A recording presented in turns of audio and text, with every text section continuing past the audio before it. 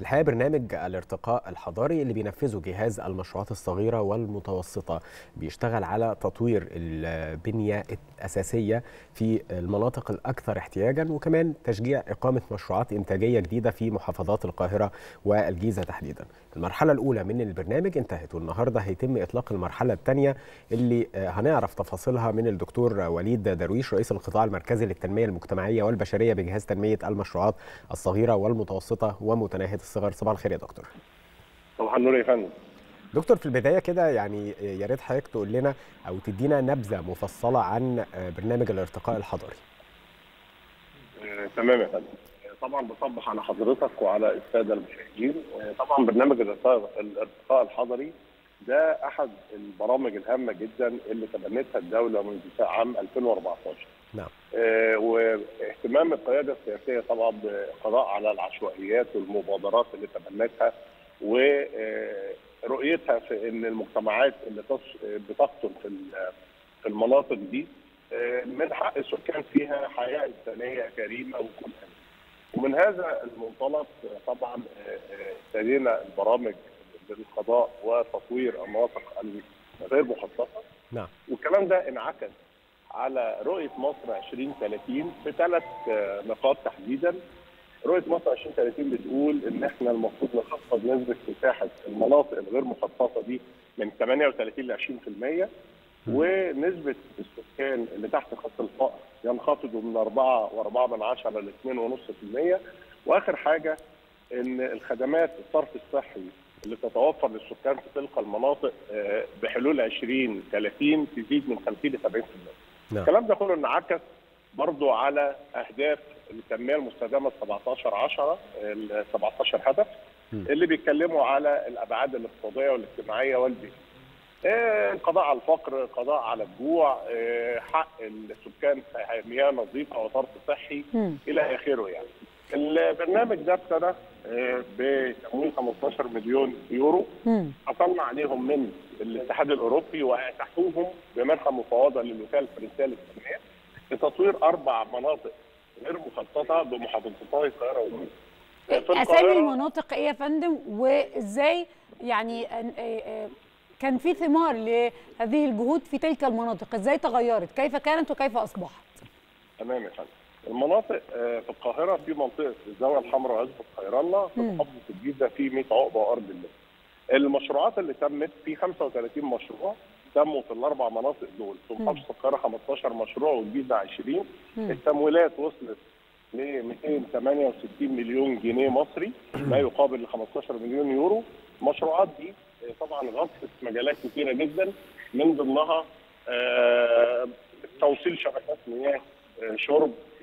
صرف صحي آه، رصف طرق الاسفلت رصف طرق الإنترنت إقامة خزان مياه كبير جدا آه، إلى آخره مشروعات كثيره مدارس تطوير مدارس وحدات صحية نعم. ملاعب أنفاق إلى آخره الكلام ده كله طبعا أتاح ما يقرب من 325 ألف يومية عمل. آه، لسكان تلك المناطق يعني إحنا طبعا شغلنا الأولويات تبقى لأهالي سكان المناطق دي إن هم يشتغلوا في المشروعات دي لإفادتهم وزيادة طبعا ده كان مكون البنية الأساسية اللي النهارده المفروض بنحتفل بانتهاء المرحلة الأولى منه ب 15 مليون يورو. وفي يعني المرحلة الجديدة إن شاء الله هنعلن عنها النهارده بثقة من الجهات المانحة في جهاز تنمية المشروعات وطريقة إدارته لل- للتمويلات اللي بيتيحها مم. والاتحاد الأوروبي اتاحوا لنا 3 مليون يورو آه، جداد نكمل بيهم مشروعات في نفس الأربع مناطق آه، للحاجات اللي إحنا ما قدرناش ننفذها في المرحلة دي. وطبعا المشروعات دي إحنا بنختارها بناء على آه، إشراك الأهالي وإشراك تلك المناطق عشان نعرف أولوياتها. إحنا عيننا مكتب استشاري في الأول جه عمل دراسة احتياجات للاربع مناطق. أولويات قال لنا كل منطقة محتاجة إيه؟ في مناطق زي أرض اللي هو كانت محتاجة الأولوية الأولى طبعا مياه الشرب، في مناطق ثانية محتاجة طرق إلى آخره وحطينا طبقا للتمويلات المتاحة أو حطينا رتبنا المشروعات طبقا لأولوياتها وطبقا للتمويلات المتاحة. في مكون ثاني في البرنامج اللي هو آه، تعزيز فرص العمل.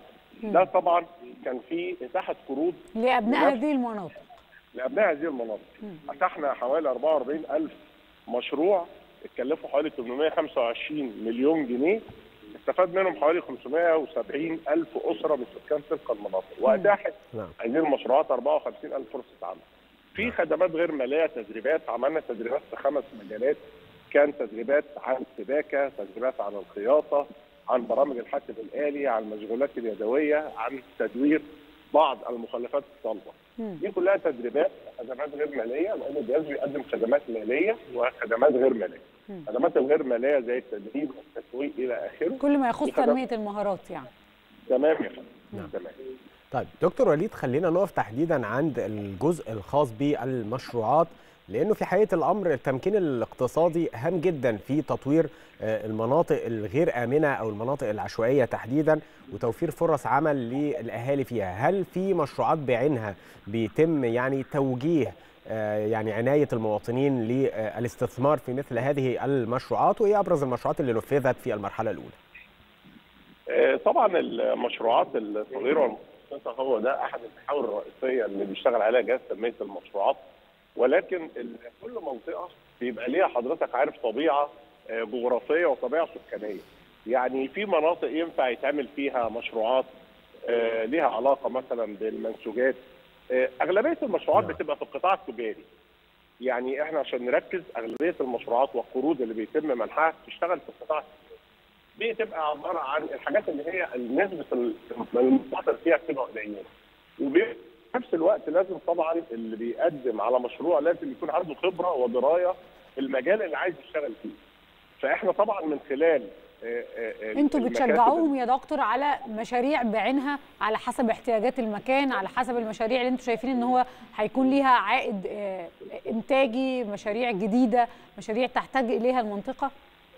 إحنا بنوجه حضرتك فيما يخص برؤيتنا لكن مفيش آه، إلزام على الطالبين الحصول على التخصص إن هم ياخدوا في المجالات دي. مم. يعني أنا ممكن أشوف إن المنطقة دي محتاجة مثلا ما فيهاش أعمال سباكه ما فيهاش سباك محترف. أنا ممكن أدربهم على هذه الحرفة. بعد كده آه يعني أنا بقدم له الفكرة والتمويل وكمان له ممكن الفكرة. أعمله تنمية مهارات فيما يخص المشروع وبساعده في- إعداد دراسة الجدوى. لو تطلب هذا من خلال مكاتبنا التنميه المنتشره. في جميع محافظاتنا عظيم. إحنا بنشكر حضرتك شكرا جزيلا دكتور وليد درويش رئيس القطاع المركزي للتنمية المجتمعية والبشرية بجهاز تنمية المشروعات الصغيرة والمتوسطة ومتناهية الصغر.